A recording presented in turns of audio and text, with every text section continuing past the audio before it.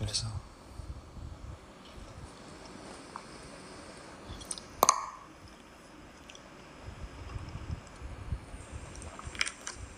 いや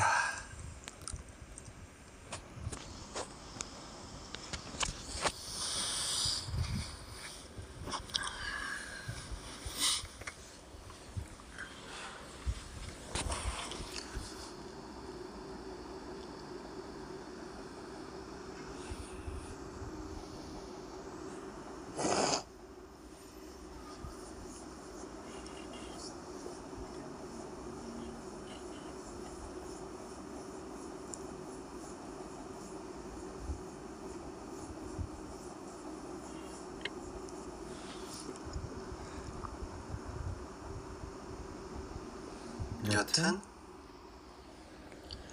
아메들은 오늘 좋은 하루를 보내라.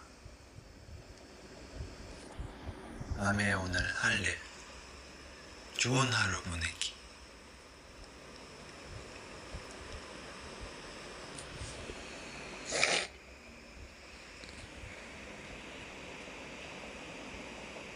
안녕